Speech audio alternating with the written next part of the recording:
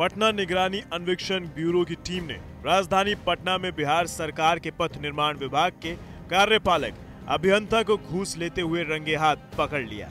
साथ ही निगरानी की टीम ने कार्यपालक अभियंता के कैशियर को भी गिरफ़्तार किया है। एग्जीक्यूटिव इंजीनियर को 14 लाख रुपए के साथ हिरासत में लिया गया।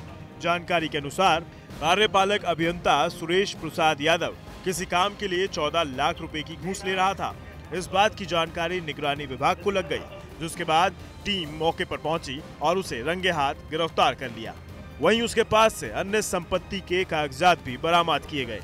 जानकारी के अनुसार एग्जीक्यूटिव इंजीनियर को गिरफ़्तार करने के बाद निगरानी की टीम शास्त्री नगर थाना क्षेत्र के पटेल नगर स्थित आवास पर भी छापेमारी की।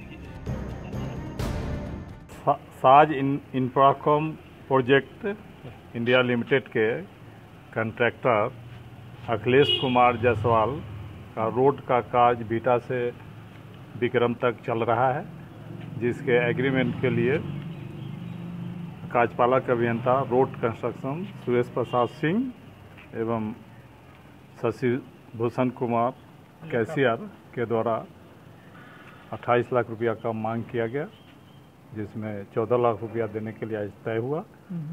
आज 14 लाख रुपया लेते हुए अपने आवास पटेल नगर से सुरेश प्रसाद सिंह कार्यपालक अभियंता एवं शशिभूषण कुमार कैशियर को पटना की निगरानी टीम के द्वारा रंगे हाथ गिरफ़्तार किया गया। अब तक क्या क्या बरामद हुआ उनके घर से? अभी तो उनके घर से हाउस सर्च हो रहा है।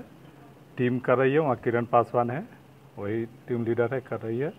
अभी सूचना के आधार पर लगभग दो करोड़ से ज़्यादा का कैसे अभी गिनती हो रहा है। खबरों के अनुसार निगरानी के अधिकारी द्वारा उसके घर को खंगाला गया।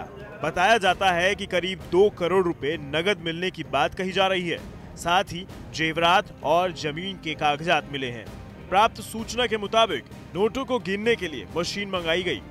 बहरहाल, अब तो नोटों की गिनती के बाद ही पता चलेगा कि सुरेश प्रसाद यादव के घर में कितनी बेनामी संपत्ति है। वहीं जब राजधानी पटना में ये हाल है तो आप अंदाज़ा लगा सकते हैं कि पूरे बिहार में कितना ज़्यादा घूस देकर काम चलाया जाता होगा। सुजीत गुप्ता, बिहार तक।